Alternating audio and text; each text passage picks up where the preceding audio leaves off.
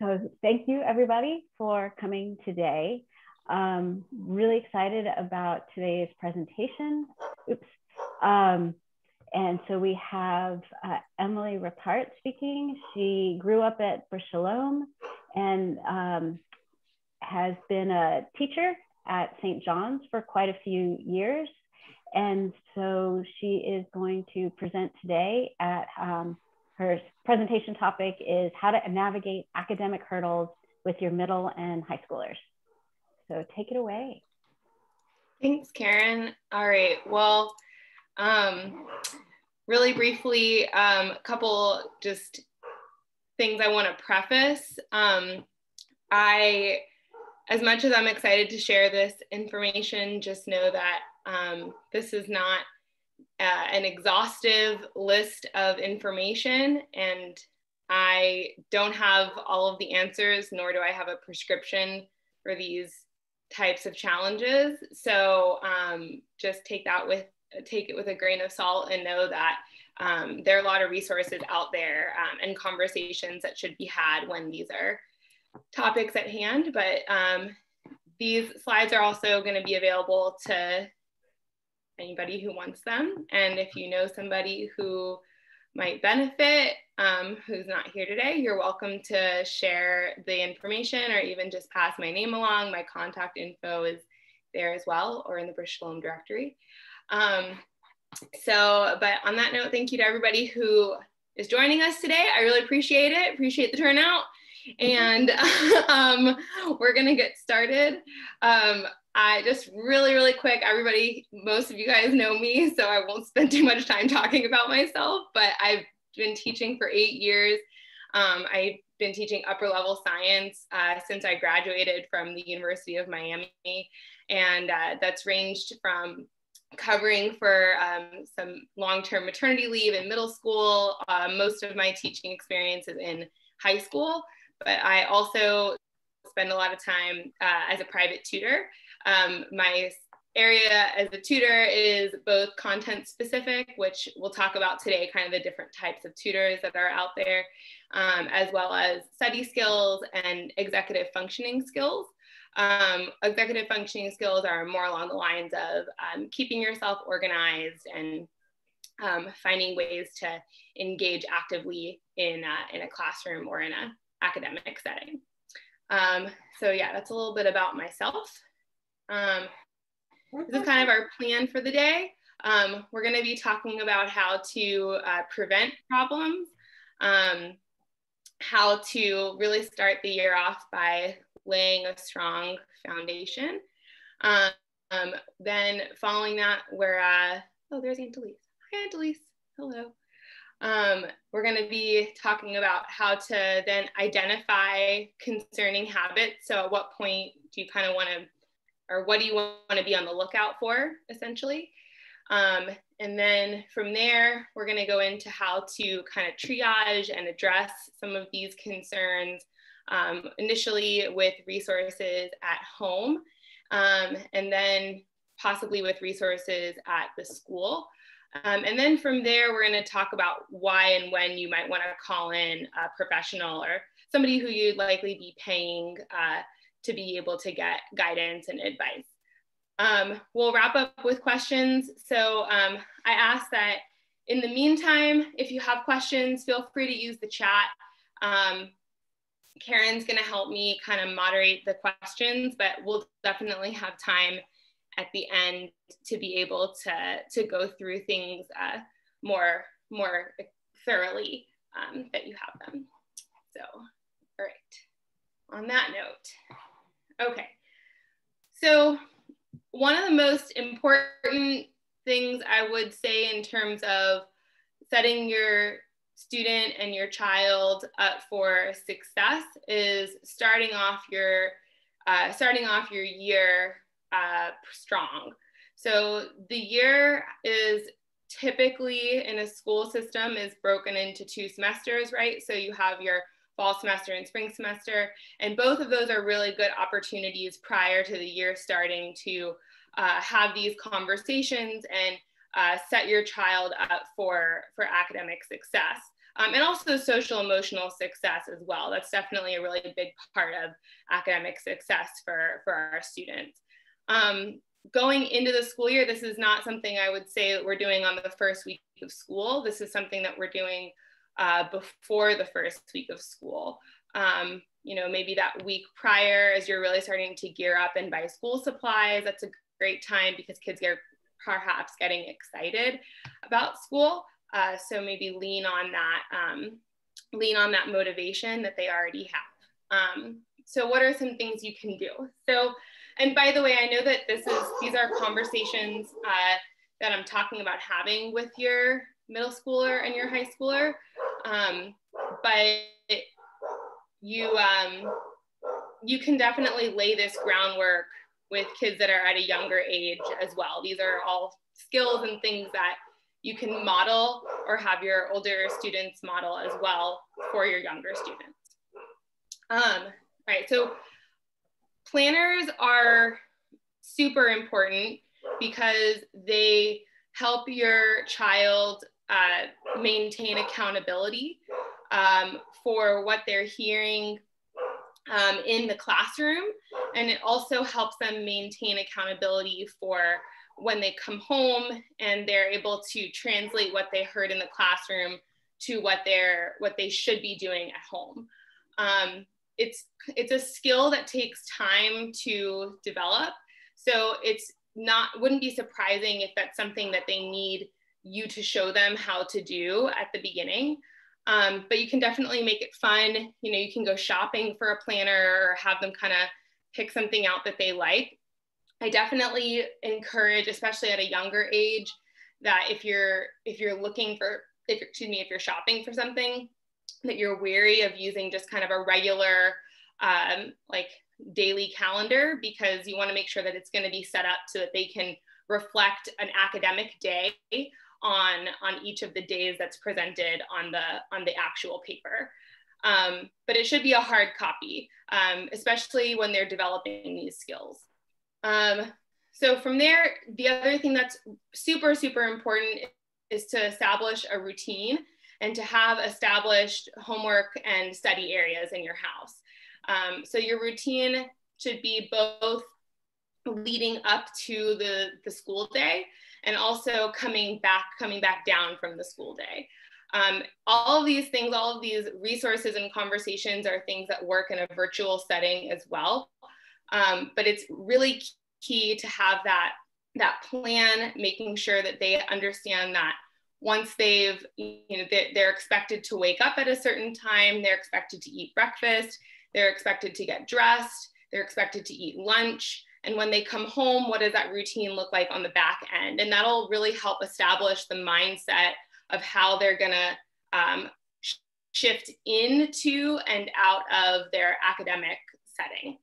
Um, having these established study areas are also gonna help them focus and make sure that they're geared for success because if they're in a place that's poorly lit or perhaps they are, you know, distracted, there are other people in the area, um, they might have, a, they might be fighting an uphill battle to be able to get their work done and it might not even be their fault. Um, so you wanna be able to set up space that at, they're seated, they have all of the materials that they need kind of at their fingertips. Um, there's enough light for them to be able to, to see, and they definitely shouldn't be laying down. Um, and I would also would discourage like any opportunity for multitasking in their area. So try to avoid eating and other technolo technological distractions. Um, that's a kind of a good segue into making sure that you establish technological boundaries from the beginning. Um, these are conversations and you'll kind of see the pattern throughout the presentation that the, the theme I would say throughout this is parental involvement, that um, you're on your child's team to help them succeed, um, but you're not doing it for them. You're teaching them how to do it. You're teaching them how to um, how to develop these skills. Um, but you're also the parent. You want to, you definitely want to set the boundaries and the expectations, and that's hopefully what you're doing. Um, you know, before the school year starts. And then a good, like I said, a good opportunity is to do that again before the spring semester starts. Um, so making sure to set those expectations from the beginning. All right. All right, so perhaps, you know, you've, you've set those expectations, you've, you've had these conversations with your child um, and the year has begun, um, but it's still off to a rocky start. That's very normal. Um, it's something that, you know, life happens. Um, and even if you've had the conversation and you've set the expectations, um, it still can get a little dicey at times and stressful, absolutely. So, what are some things that you want to be on the lookout for? Um, and again, this is not exhaustive. So, just know that these are some of the heavy hitters that I tend to see from my experience, both as a teacher and as a tutor. Um, so, first off, disorganization in terms of supplies. That is that's a major problem. And the reason why is because if your child's backpack or their notebook looks like the one that's on the picture um, or on the slide, I should say, they're going to probably have a very difficult time finding and retrieving and completing assignments. Um, it spirals pretty quickly. Um, so things might, you know, rip, they might bend or break or just get lost in the shuffle between subjects and something that they had fully intended to do in a reasonable amount of time and get in on time or use as a study uh, study tool to prepare for a test is virtually useless in the midst of this black hole situation. Um, so you, and I'll talk about how to kind of deal with this stuff, but that's definitely a sign of concern. Um, another sign of concern is just avoiding conversations, which can also be just a habit of being a teenager. But um, in general, any major changes in um, major changes in their types of conversations that they're having with you. So all of a sudden, they went from being willing to share information about school to uh, avoiding the conversation or really, really limiting their uh, limiting what they're willing to speak to you about um, those are those are definitely signs of concern as well. Um, and from that same similar standpoint, um, if they just constantly reassure you that everything's fine, class is going great, it's fine, it's good, it's okay, but they're not really able to show you or um, demonstrate with evidence that things are fine and okay, then that's another reason to be concerned. Um, you you want to have evidence-based justification from these kiddos, even if it's, hey, can you show me that you finished this? Or show me the grade that you got on this. Um, another sign of concern is if you're constantly hearing from their teacher or teachers, um, whether it's uh, because of missing or late assignments or you know concerning behavior in the classroom um, regular communication from the teacher that uh, has concerning behavior is definitely something to be out on the lookout for that you want to try to address all these things um, as early as possible. Um, the last thing that I have on here is irregular sleep patterns. Um, and I had mentioned in my previous slide that you want to really prioritize sleep.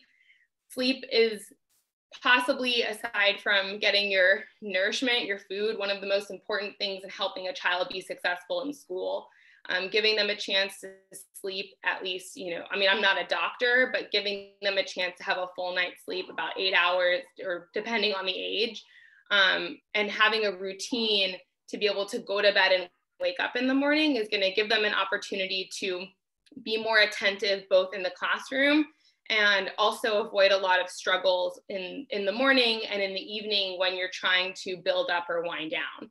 Um, so again, shifting from more of a regular routine to irregular patterns of that um, is definitely something that you want to address as early as possible. All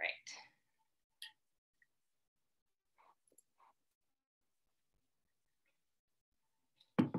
So these are all things that as parents, you can do with your child, regardless of whether you've seen some of those concerning signs um, or not. I strongly recommend that you keep an open line of dialogue with your children to be able to engage them and to know what's happening in their academic life. Um, and, and that would allow them to present more information to you and for you to ask more pointed questions to them. Again, really the goal is to hold them accountable for their, their actions and their behavior. Um, so first off, almost all schools that I, certainly the, all the ones that I've worked with um, in the last eight years, um, but almost all the ones that I've been exposed to have an online portal of some kind um, especially now that we've segued into having like a virtual or a hybrid option for school these days. Um, and it's really important to know, of course, how to access that, but also what does that online portal offer? And every school has a different platform or a different amount of information that they're willing to provide to the parents um, and to the students, I should say. Um, you can kind of see at the bottom of my screen here, sort of a snippet of what ours looks like for our school. Um, this is my vantage point, so the students' access looks a little bit different and the parents' access looks a little bit different. And even other schools that use the same, they pay for the same service, they can change how much information students and parents um, and teachers have access to. Um, so just be familiar with it first off. Um, if you don't know how to get there, um, reach out to an administrator. Uh, usually, an administrative assistant can kind of walk you through how to initially do that. On a similar note, it's really important to know how you can monitor and kind of keep an eye on your child's grades and their assignments. Um, and we'll use that information in our next, my next slide in just a second, but it's good to have that information. Often those two things kind of go hand in hand. Um, but again, using that planner uh, if you lean on them for that, then you ask them to um, show you what they've written down, and then you can kind of cross check it potentially with their online resources. Um, then you're able to, again, continue to hold them accountable. Um, the other piece of this is to really encourage your child to be in an open communication, have an open line of communication with their teacher. Um, so that especially in, in the upper level grades, so certainly high school, but also I think now that we're segued into our high tech society that this works for applies for middle school as well that most of the communication is happening via email these days. Students actually are kind of almost nervous to go sometimes face to face but email communication is great. Um, I would strongly encourage you to even walk your child through how to write an email to their teacher um, when they when they're initially doing it for the first time. I can't tell you how many emails I've gotten from students that don't have a salutation or don't have any kind of like uh, um, signature at the bottom and just have a question. Um, and I usually will actually respond and ask them to write it a little bit more formally next time, um, just to consider that they are speaking with a professional. Um, so especially from a young age, teaching them how to do that, walking them through that, asking them for careful consideration in a circumstance that they're looking for flexibility will usually lead to more leniency on the end of the teacher as well. Um, so use that as a learning opportunity. Um, and that again that should really be in the hands of your child. Um, and if you're thinking, oh, my child's only, you know, 11, like they're not expected to do that. Um, again, learning opportunity. Sit down with them, show them how to do it, and then you'll be surprised how quickly they'll pick up on that. I mean, they're already probably better versed at a lot of this tech stuff than we all are, to be honest. Um, another thing is you really want to make it a part of your daily routine to check in with them. Um, you, it's, this should not be like a once in a while situation. Um, you want to remain as engaged as possible, and that will continue to hold them accountable for, um, for their actions and for their behavior. So those are some kind of initial triages that you can do. Um, and on a similar note, um, it's really tempting to ask your child, how was your day? And most people who especially have middle schoolers and early high school or even later high schoolers, their answer is fine or okay. And then it's kind of hard to know what follow up question to ask. Do you say, What did you learn today? Did you say, Did you talk to so and so today? The questions are very surface level. And that's just, it's just not enough, especially if you're noticing a lot of these signs of concern that I pointed out before. Um, so you want to change your questions to make them more pointed, to make them more productive, so that you're going to get more information um, from your child uh, who will be more, um, that when you give them more guidance in their question, they're more likely to have more information to share with you. Um, so I've given you a, a laundry list of examples here. I'm not going to go through all of them because they certain excuse me they certainly don't apply to everybody here but um, you can take your time and and kind of look through them and even look through them on your own time when you're looking on the slides but a couple examples that i i really like to emphasize um, are the the actually the very last question here um, is how do you plan to juggle um, and then insert, you know, maybe a sport or a rehearsal or some kind of outside extracurricular activity with, and then insert the academic commitment. Um, again, knowing and hopefully anticipating that you're aware of what their their week sort of looks like. Um, you might have an idea that they have a test in math and a quiz in history, um, but they're also slated to be up pretty late or out late doing uh, dress rehearsals for the spring play, um, or they have two baseball games that week. Um, and that kind of that time suck takes away from that um, their ability to commit and follow through on even other daily assignments that are going to be due that week.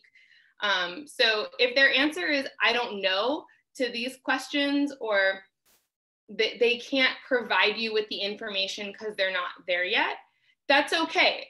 Again, learning opportunity. Have the conversation. Say, okay, so let's come up with a plan. Let's figure out how to manage the, t- let's literally budget our time for the week. So that way you go into your assessments and your rehearsals and you're not, you're not stressed and you're not feeling like you are losing sleep over, over this, these commitments. Um, Another thing to consider is going, coming out of larger assignments, um, helping them evaluate how they did. Um, how did you feel about your essay that you wrote for English? You know, do you want to maybe take a guess as to how you did? And then when they get the grade back, it helps to evaluate that emotional component of it, right? So maybe they estimated that they got an 85 just ballparking. And then they ended up getting an 80, right? So they probably had a mental goal at that point of having an 85. So helping them to say, well, what happened, right? Or maybe they got a 75, right? Helping them understand where do we make up, how do I make up those 10 points in the future, right? What needed to happen? Did we not use the rubric? Did we not communicate with our teachers? Did we turn it in late? where where was the issue there so that way you can figure out moving forward right if the 85 is still kind of whether it's the goal or that's how they felt coming out of it that it's more of a genuine estimate um, they're they're really able to gauge how they think that they did going into the assignment or i should say coming out of the assignment.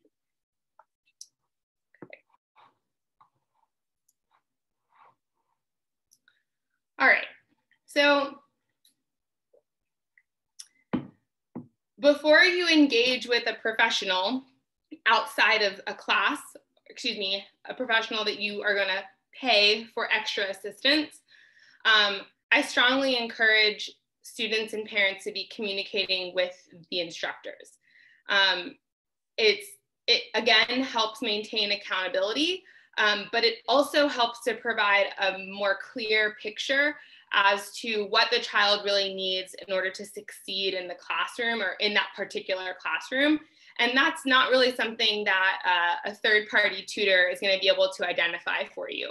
Um, it doesn't matter if they graduated from the best school at the top of their class, they're not in the classroom with your child and the teacher. So they need that context. It always helps to have that context from the instructors to be able to succeed with working with your child um, outside of the classroom. So these are some questions that you can certainly pose to the teacher. You know, if you feel like you're at the point where you're kind of hitting your head against the wall, your child isn't even willing to reach out or communicate to the teacher, you know, you can certainly intervene and ask to be able to get this pointed information. So, you know, what kinds of challenges do you notice specifically that my child is having in your class? Is it effort based? Is it organizational based? Are they distracted? Are they, you know, can, are they not able to even wrap their head around the information? Um, you know, what, what resources might you suggest for supplemental help? Is my child using supplemental help at all? Are they, are office hours available? All of these things that perhaps are available, but if they're um, embarrassed or if they're kind of at a point where they feel like it's too little too late, they might not be utilizing them. Um, but all of this stuff is not um, like getting outside help is not a replacement for parental involvement and it's not a replacement for seeking guidance from an instructor. It should be in addition to those things.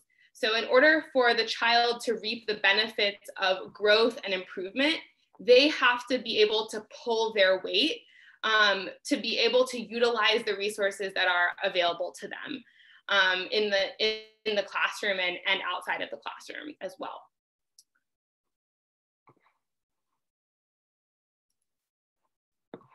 All right, so now we've gotten this far um, and it's just, things just aren't working. Things are difficult.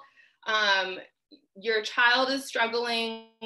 Um, they it's it's a constant battle um, and if that's the case um, and you feel like you've exhausted um, you've exhausted a lot of possible opportunities um, then yes i think calling in a professional that you're going to pay for extra assistance a third party um, is a great idea there are a whole bunch of different types of um, third party professionals who can help you. Um, and they, of course, all range their, their, the reason why you would call them would vary based on what the issue is that you're having with your, uh, with your child. Um, so there's everything from someone who's going to help explain content, like a subject specific tutor, to someone who's going to help with executive functioning and study skills. Um, there are people who are literally called homework wranglers who will sit with you, your child to basically watch them do their homework if it's a struggle for you to help them do that. Um, and then if you're having other um, more diagnostic issues, um, then you might want to lean on someone who's going to, like a psychiatrist, who's going to help you do a psychoed evaluation. That's more of an extensive, um, extensive professional that you would probably be seeking guidance through your also your child's pediatrician, perhaps administrators at the school as well. Um, and then if you're at the maybe junior, senior level, you might also consider getting help from a college guidance counselor, depending on where your child is in the college uh, seeking college seeking journey. Um, so these are those are the types of instructors, but when you would want to call in for help, uh, like I said, if you feel like you're really hitting your head against the wall at this point, um, don't like stop and get help. Like that's okay. Um, if it's just a constant battle for you to be able to help your child make progress, to complete work, to, um, I mean, kind of any and all of the above that we've described before. If it's just, it's constantly an argument, bring in the third party, see if that kind of eases the tension because what you're doing is you're just constantly surrounding schoolwork with negativity and that's only going to make the issue worse. Um, also, perhaps it's crunch time. It's we're kind of coming up on finals right now ourselves, uh, slowly but surely. Um, midterms, that type of the year. Um, and if it's been really, really difficult in terms of understanding the material, um, that might also be a good time to call in for someone to at least help them break down the material and get through these more heavy hitting assessments for the school year. That way they don't crash and burn in the uh, last minute.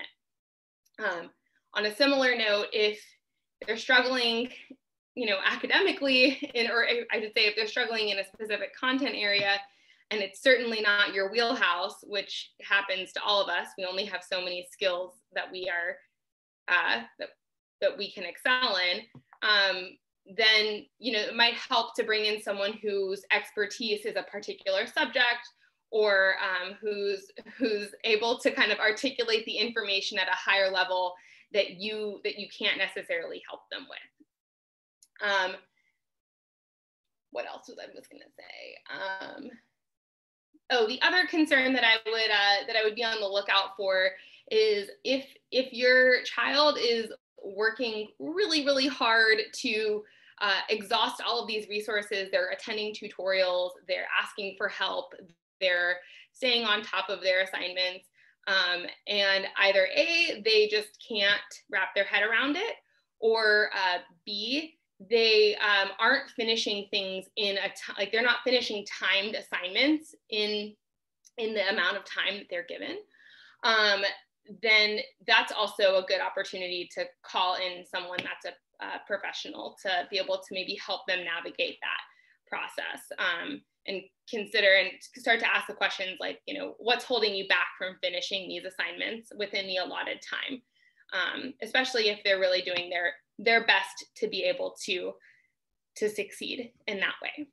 Um, so yeah, that's kind of my my arc. I would say, um, like I said, one more time, this isn't exhaustive. This is not a prescription. Um, I just wanted to kind of introduce some uh, general ideas to plant the seed if you are having some struggles or if you know of someone who's struggling in that regard. Um, and just to know that like there's no better opportunity to start than any any time like it doesn't it doesn't have to be at the beginning or at a certain time of the year um, just getting that conversation going helping your child learn how to be a self advocate is is going to help them much in, in, in the long term. It's not even just the short term. Um, so yeah, are there any questions? I have a question. Yeah, hold on. I think we have a couple in the chat. So you do, me, but why, why, not take? Do you want to take take the live one first? And the, okay. Because the okay, ones in the chat right. have already been, you know, written out. Okay, cool. All right, um, go for it. Okay. More. Well, just out of curiosity, I wonder what your opinion would be, or advice, whatever, if you have um, a child who is uh, who's really smart and doesn't have to put in a lot of work to get good grades and maybe doesn't really need to study that much and but they still get good grades would would you still want to do something to be like, well, you, you should still develop good study habits? Or would you really not need to do anything because they're making good grades? So what does it matter? Yeah, um, that's a good question. I would say um, that a lot of these habits are going to be really important later in life as well um, and that a lot of skills that you use in the professional world don't necessarily require you to study and perform on a test that's you know in within a certain time frame but you still have to um, show up and present and deposit material perhaps to a team. And all of those things um, still lean on accountability and knowing how to ask questions and knowing um, how to manage your time. So, as a person who has information that's coming to them really naturally, um, who doesn't necessarily have to, to study, um, should still learn how to manage their time um, and communicate with adults that are important in in that process of whatever whatever stage they're at in life. So communicating with um, a teacher or communicating with a guidance counselor um, and doing it in a reasonable amount of time. Um, i remember from an experience that i had with a close friend in high school he was incredibly bright and he was able to manage work very, very, very quickly, but he left everything to the last minute. And I didn't, I couldn't wrap my head around that because I had to, I had to dole out my time to be able to do well on the assessment. And I, I'm not in touch with him as an adult, but um, you know, I, I, think it's these are skills that are translatable in, in a lot of ways to other components of your life. And I think that as parents, it's important to be able to encourage these skills to be able to ensure that, you know, if they're struggling or if they're not struggling academically, but they're not getting enough sleep, um, then you might see other issues that develop later. Um, so yeah, I would say definitely, definitely keep an eye on it and encourage this to be able to just maintain good habits.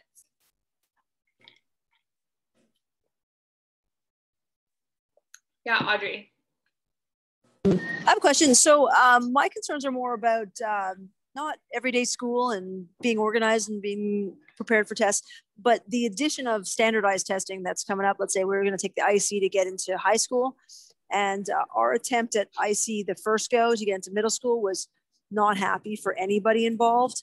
And so I'm um, curious about how would a middle school prepare middle schooler prepare for that and it, when do you call in the big guns to um, actually prepare them for the test? Yeah that's a really good question. So um, i have a mixed bag of emotions about um, about the ISEE. Um, I think that you have to be really careful because those exams are trying really hard to assess the uh, current level of um, your your child's current capabilities um, but they're also used to allow for entrance into uh, programs. So it's very very very popular to get tutors for these children to be able to do well on these assign on these uh, standardized tests.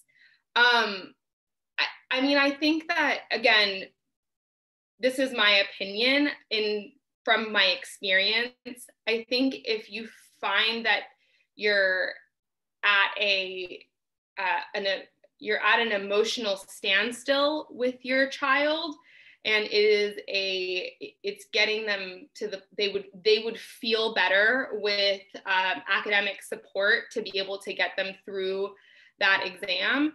Um, and that's something that you can afford to provide for them. Um, I would say do what helps them in that social emotional aspect, help them to, you know, testing is can be very stressful, and I would try to remove that stress aspect from them because they might actually perform better. They might have more confidence if they have somebody who's kind of coaching them along the way.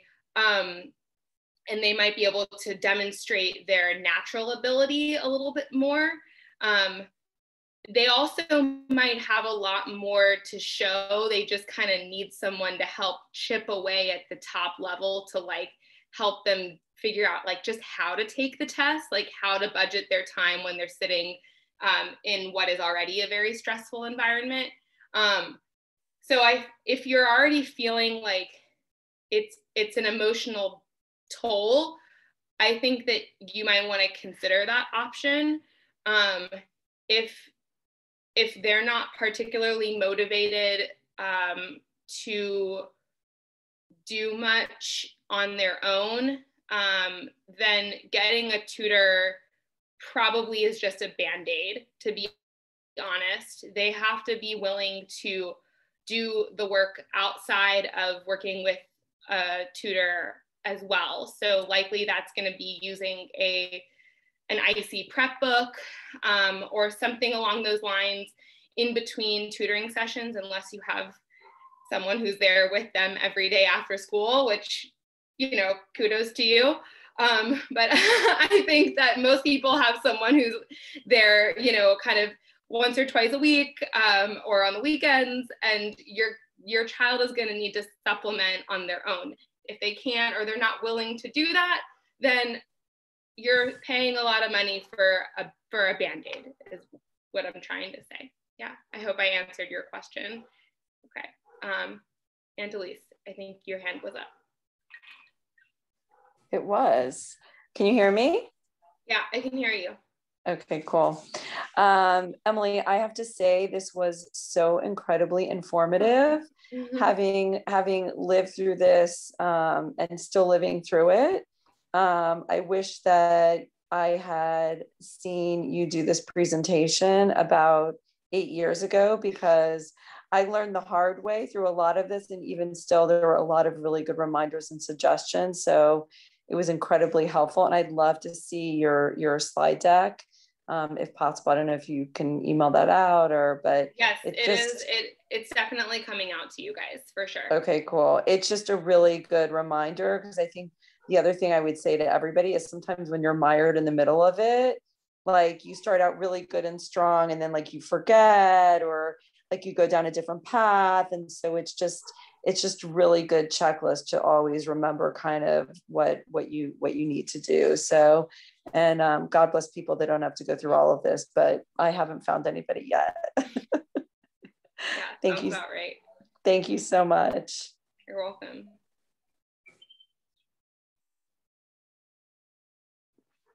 So now may be time to grab the, the questions from the chat. Okay, cool. So um, looks like we have uh, one question and a comment.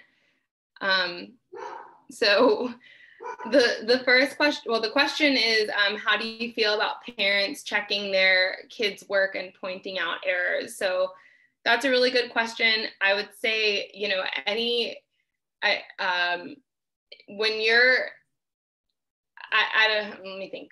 Sorry, let me think about this for a second. I would say it's it's good to help them understand how to uh, learn how to look for those errors themselves. So you have to start by showing them what those errors look like. So when I was in you know elementary school, um, often my mom would check my math homework before I could go play because if I if she didn't, then what might happen is I might rush through the assignment in order to get it done and then put the assignment in my homework folder and then I'm done for the day. Um, but if she checked it, then it was more valuable to me to make sure that I tried to do it right the first time because then I would spend less time uh, correcting my mistakes. Um, and same goes for things like editing an essay um, you know helping helping your child to cultivate those skills. Um, there's definitely a point where i would say there's too much help. Um, you know if you feel like you're saying that we did the project together you're, you're probably giving them too much help. But you know you kind of have to go with your gut a little bit. Um, you know it's one thing to go out and buy the supplies from Michael's. It's another thing to, you know, trace the letters for them. Like it doesn't have to look perfect. The essay isn't, the essay doesn't have to be perfect. The homework doesn't have to be flawless. The, these teachers are not expecting, if they were, they it would be a whole different story. So don't feel like the expectation has to be like, you know, a perfection when they're submitting. The goal is that they're trying to figure out how to do the best that they can. Um, but the best that they can is also not rushing through the assignment just to get it done to move on, right?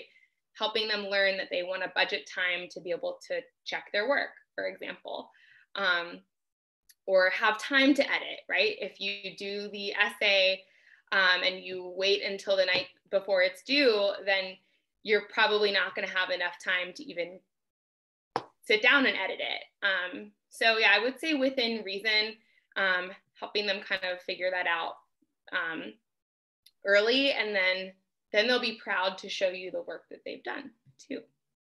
So um, yeah. And the other comment, kind of an interesting piggyback on Maura's question, Maura's question earlier was um, about asking detailed questions at the end of the day, excuse me. Um, that's a good practice about learning how to interview for a job. Um, so yeah, so a lot of these things can, like I mentioned earlier, they can be translated to different like aspects of, of even adult life too. Um, so yeah. yeah. So I kind of kind of related to that whole transferable skill. Um, I, my kids do fairly well academically, but they definitely still have a lot of growth in how they interact with adults and how they interact with authority figures. And so um, I, I really kind of would like to run with your suggestion of having them email their teachers just again to because they don't know formal letter letter structure and that is a really good life skill so i guess i was curious as a teacher do we just get there um, I, I guess just to develop to to develop that suggestion a little bit you know i can picture getting the teachers addresses off the, the school web page because I, I think sometimes when i email them through gradespeed they there's a very delayed lag in them getting the notification. And so I, I, also would like my child to know that they're, you know, I, I'd like that whole closing the loop. So I guess I just thought I would ask, I'd like to run with that suggestion. Can you develop more as a teacher how to make that suggestion the most effective? Yeah, for sure. I would say um, a lot of the um, the the ability to um, communicate with instructors is quite readily available. Um, it's kind of just taking the first plunge to either get that information and or um, having your child have like like giving them the skills to be able to do it or having them under identify and understand at what point in time is an appropriate time to reach out and communicate with a teacher. So those are kind of the three components. Um, uh, there should your your teacher your child's teacher's email should be available through at the very least the school or district's website. Um, and from there um, you know if you can imagine kind of as an adult why you would want to reach out to someone for perhaps clarification um, or perhaps you made a mistake and you need to whether it's in your professional work line of work or even in a social uh, instance, um, you made a mistake and you need to kind of backtrack and you need to address the mistake. Um, those are like the two heavy hitters in terms of why uh, a, a, child can start to communicate with their teacher. Um, where is the assignment posted? How do I turn it in? Um, can you clarify what's going to be on the assessment on Friday?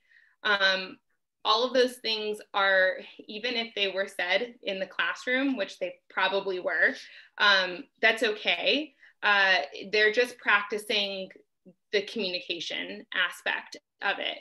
Um, not turning something in uh, should be, a, uh, you know, I apologize. I'm, I made a mistake. Um, owning up to the mistake um, is it possible to submit this late? Um, can I get, get any partial credit? Are these are the types of questions that you can kind of when you're apologizing essentially, or when you're just acknowledging that a mistake was made. Um, the answer might be no, but it's certainly better to ask than it is to um, to sit on it. Um, and what that's going to do is when your child is in ninth, 10th, 11th grade, um, when it comes time for looking for someone to write them a letter of recommendation, um, the, their teachers who they communicate with regularly are going to have a lot more to say about that child. um, you know, so and so is more than willing to own up to, you know, mistakes that they've made and learn from them. You know, so and so is, you know, constantly reaching out to ask, you know, in terms of my availability to supplement uh, or to have, you know, to sit down with them for office hours. Um, and again, all of these things are different opportunities that are available at different stages during, during, you know, that might not be available to a sixth grader. Um, but it's, it's very helpful for even a sixth grader to learn how to write to their teacher and say, um, I, I did not hear the instructions in class. That was my mistake. Can you please clarify for me? That's okay. Now, I don't know that they'll get a response by the time that the assignment is due, but that's a natural consequence, right? That's mm-hmm. something that now the now that person needs to live with and they they're going to have to do the best that they can. And then the follow up, right, can be when they see them the next day in class and they can say, Mrs. Repper, I sent you an email last night. I was just curious if you got it. Um, I've gotten a couple of those. I, I respond pretty quickly, but that's kind of the next way is like teaching them that they can ask in person, right? Having them go to, but when you do it online, when you do it with an email, um, you can also see it, right? So that's kind of the other benefit of teaching them how to use um, and write emails um, that way. Um, can I ask a question? Uh, can I say sure. a comment? Um, sure. Emily, Mrs. Repper. Yes. it is such a thrill to see you in a professional. Oh, thank you. Thanks, Gran. Okay. I learned a lot and I wish I had other people to impart your knowledge on, but I'm sort of happy I don't. okay. I'm glad well you joined done. us. You get an A plus. Thanks. Appreciate the support. Any other questions? I have a question. Yeah.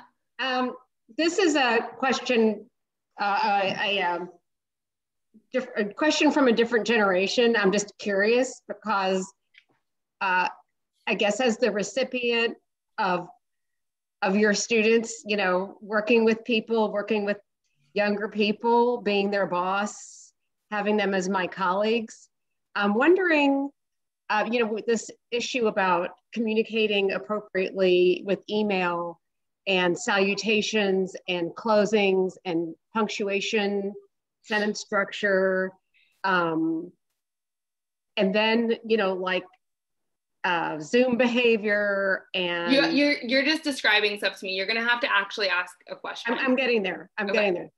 Are those topics brought? Are, are they topics of uh, instruction that most teachers deal with? Or is this stuff that the parents are expected to do? Um, I mean, I think that that's definitely something that varies depending on, you know, the type of classroom and the personality of the teacher. Um, and also the personality of and the involvement of a parent. You know, I think that it's not uncommon to see parents take these types of uh, these things for granted and just basically assume that since their child is using a computer that they know how to do all of this stuff. Um, that's not usually the case. Um, i mean honestly like a lot of kids don't even know how to address an envelope these days because mm-hmm. they don't write um, they don't write letters. Um, so and then you know parents send their kids to summer camp and they like literally don't know how to write an envelope to to write letters home. Um, I, I, think there are a lot of assumptions that are made.